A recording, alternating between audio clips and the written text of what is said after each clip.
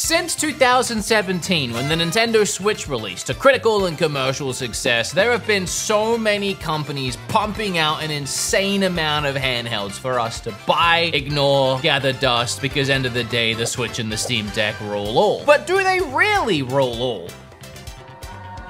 Ba-bam! Let's find out. All right, I'm gonna start with the classic, the OG original Nintendo Switch. This is an original Nintendo Switch, the first model. You might be wondering why mine looks so sick. That's because it's real 24 karat gold. If you didn't know I had a real 24 karat gold Switch, that's because nobody watched the video. Obviously, I don't use this anymore. I am sure a lot of us have moved on and upgraded to the OLED, at the very least, the better battery Switch that came later. So the original Nintendo Switch, it's good, but I'd rather use something else. Now, I'm gonna have to also put the version version 2 of the original. It was like a little refresh. And yeah, it's the same. It's just, I'd rather use something else. And that something else, you might have guessed, it's this bad boy right here. I've been using this Nintendo Switch OLED since the OLED came out. I love it so much. The Nintendo Switch really rekindled my love for handheld gaming. I've always been a handheld gamer ever since I was a kid, and I had a Game Boy Advance SP, probably one of the best handhelds of all time. And then yeah, the Switch. I have honestly played more hours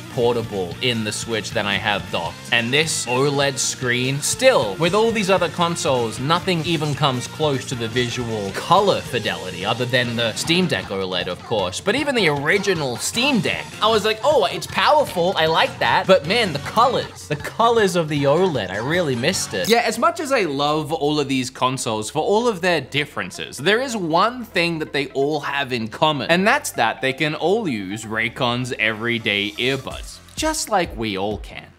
In fact, Two of these consoles can connect to the earbuds at the same time. And you might have heard me talk about Raycons before, but they just got a massive upgrade. Now the everyday earbuds have a new active ergonomic design, multi-point connectivity that allows you to pair two devices at once. They're even water resistant. And in just 10 minutes, you can quick charge up to 90 minutes of playtime. They go toe to toe with some of the biggest brands in audio. I take them to the gym five times a week. They don't fall out of my ears when I'm on a bench decline doing reps. And the new active noise canceling means I can block out even more of that gym hum and drum and, and, and the weightlifters grunting way too loud. you don't need to grunt that loud. I don't, you can silently lift the last thing I'll say is something that I don't really ever mention in these spots, but buying a pair of Raycon does directly support my channel. So if you're on the fence about it and you're not too sure, if it helps you, you'd be helping me and all the content that I make. And if for whatever reason it doesn't go the way you want, there's always that 30 day money back guarantee, baby. And better than all of that, I swear this is the biggest discount I've been able to give, I think ever for Raycon. Click the link below or go to buyraycon.com forward slash beat'em-ups to get 20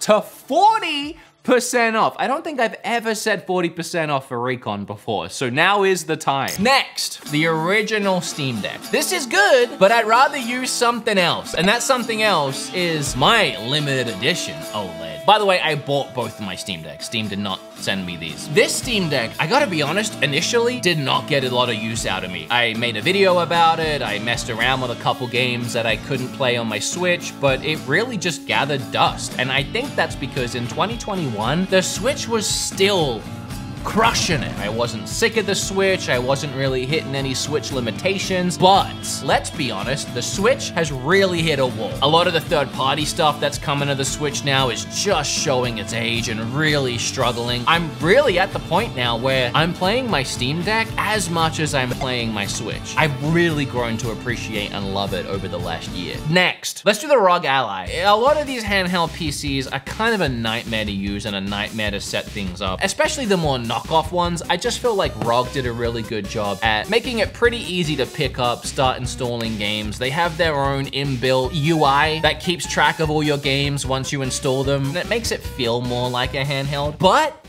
I cannot bring myself to use this thing over the Steam Deck. I'm just a guy and I just want to pick up a game and play a game. Have I made this look as good as it can look? Have I tweaked enough of the settings? Have I blah, blah, blah, blah? I, I don't want to do that. And the ease of the Steam Deck's UI and its inbuilt Steam store, being able to just download anything on my account that I've had for like 15 years on PC. I know you can do a lot of that on the ROG Ally, but it's just, it's all inbuilt here, which is how a lot of these handheld PC conversations with me are going to go. But the ROG Ally, for all intents and purposes, it's great, but I don't use it much. In the same vein as the ROG Ally, we have to take a look at this absolute behemoth Lenovo Legion Go. I actually love this insane thing. It is so heavy. The screen is so big. It's not an OLED, but it's a massive tablet. And then you have these essentially Joy-Cons that you can remove. I was in love with this thing when I reviewed it, and I gotta be honest, I played it a lot over the ROG Ally because of the screen. Bigger is, sometimes it is better. I gotta be honest. Also, these uh, Joy-Con grips are awesome. Being able to fully grip around here while I'm playing is very comfortable. I actually really like the Lenovo Legion Go. I actually like it more than the ROG Ally, but these are very comparable consoles. It's just a preference on if you want a massive behemoth or something just a little bit more portable. But in my opinion, when you're at the point where it's this big and it can't fit in your pocket, what's a little bigger? All right, while I was looking at all these handhelds, I saw this guy. That's like the 1X or something. I don't know. Either way,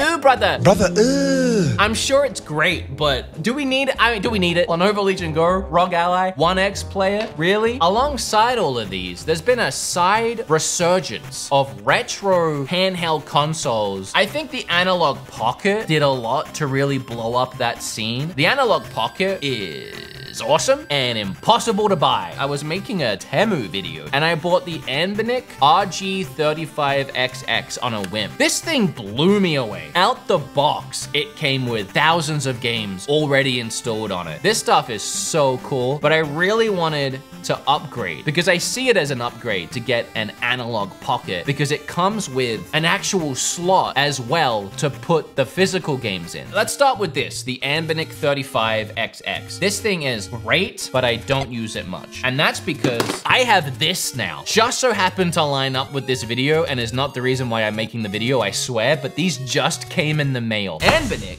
RG 35XX SP. You get it? It is literally an old school Game Boy SP and it's awesome. I'm sorry for swearing, I had to. Recently, I heard Dan on the H3 podcast talking about Final Fantasy Tactics. And when you hear someone really passionate about a game like that, it just makes me want to check it out. Looked everywhere, and apparently it's never been reissued or re-released that I can find. And then it hit me, sure enough, I scrolled down to GBA and I found Final Fantasy Tactics Advance. And I started playing that on this thing. I don't know if they had seen that I bought this one initially and they were like, do you want to try the new one or not. But either way, they reached out and sent me two of these, which is so cool because now Kim can have one and I can have one. I haven't even opened this one yet. I wanted to wait till I was here with you guys and oh my God, I'm actually gonna cry. I have a lot of nostalgia for the SP specifically. Sorry, I'm a big baby. Actually, you know what? I'm gonna move the 35XX down to it's good, but I'd rather use something else. And I'm gonna slide the SP right up there into it's great, but I don't use it much. Cause I gotta be honest, I'm not huge into retro gaming in 2024. I said all of that to then go back to Analog Pocket. I'm gonna put it in it's great, but I don't use it much because I don't have it. Although the SP is good competition. I might be fine actually, but I'm gonna leave it there. Oh, we never did the Switch Lite. Ew, brother. a lot of you are gonna be upset with me for this one. I have played one game on the Switch Lite because the Switch Lite initially released with Link's Awakening. I played that on this and then I Never touched it again. It's cute. I love that it's all one color. There are definitely things about it I like. I think for me personally, this is an ooh brother. It's too small. Ugh. I'm the guy that when he can, uses this. Speaking of too small, I asked Bob and he was like, ever heard of the Nano RG? And I looked it up and it's a tiny little guy. You could fit it in your mouth. In fact, Bob did. Also, ooh brother, it's so small. It is cute though. The whole line of GPD consoles. I don't know know anybody that uses these things. I don't know who the market is for these. If you're watching this and you have a GPD, please tell me why you have that. I actually got sent this by GPD in 2016. And I remember they, rightfully so, harassed me because they sent it to me and I said I would review it. And then I didn't. I hated it. It's so ugly. Oh God, the little thumbsticks. So, uh, ooh, brother. Brother, uh. Since then, GPD has made a ton of different consoles. I think this is one here. There's like a revolution around some of these consoles that have a screen, but you can slide up the screen and there's a keyboard underneath. I get where the necessity came from, but to me, it looks like a Blackberry. Anything with a keyboard to me, ooh, brother.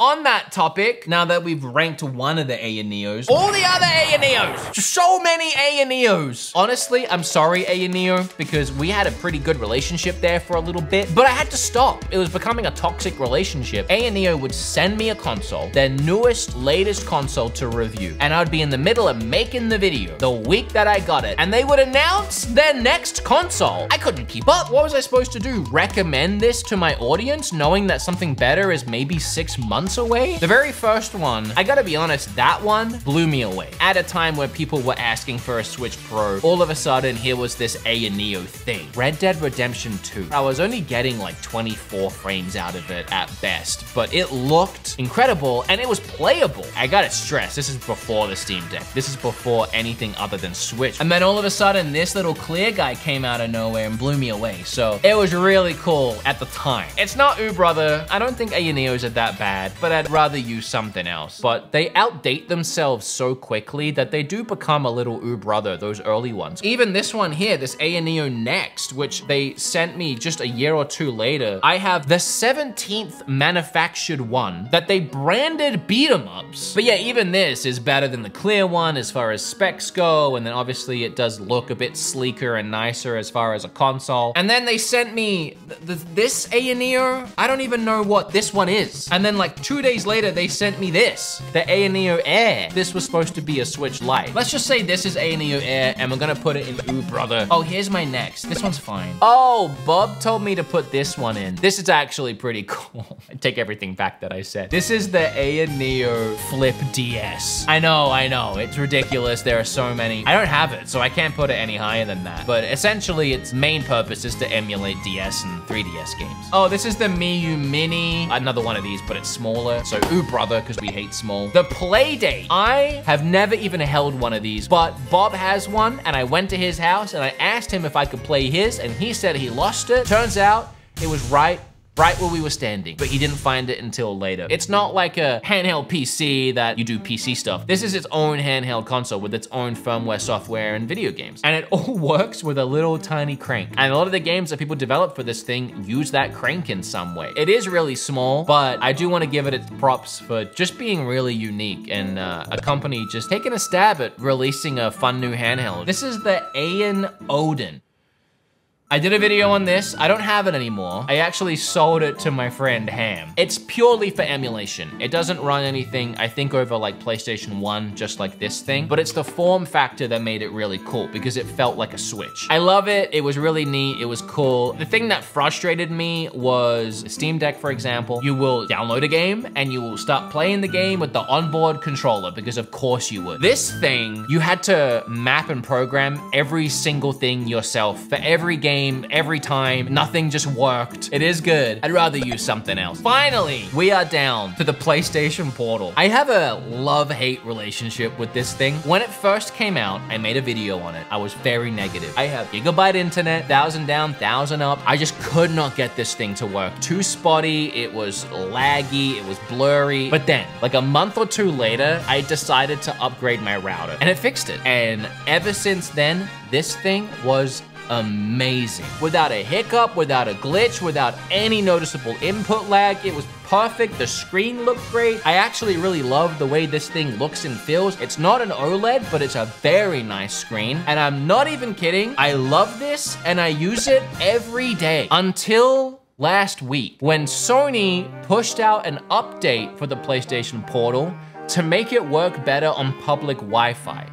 And ever since they did that, mine does not work anymore. I've reset my router a thousand times. I turn my internet on and off. I reset this thing a bunch of times. You can't revert the patch. I almost want to just forgive it because I'm sure they'll fix it. But I think it speaks volumes to this thing's main issue is that it is just a Wi-Fi streaming device and something as simple as a patch update can completely brick it. I'm gonna be nice and I'm gonna leave it and use it every day because I really have been. No, you know what? I'm not. Screw you. It's great when it works, but I don't use it much because it's broken. I'm so conflicted on this guy. I love it and I hate it. Uh, I'm back, and I'm not talking about Raycon again, although check him out. Uh, I'm talking about the ROG Ally because since I made this video, and another one came out. I can't keep up. There's too many handhelds. I actually did a whole video on this recently, and you can go and check it out. I have fallen in love with this. I've been using it a lot. I've been playing First Descendant on it recently. I apologize for that. But more than anything, I can play Fallout 76 on this. Big whoop, I know, it's whatever.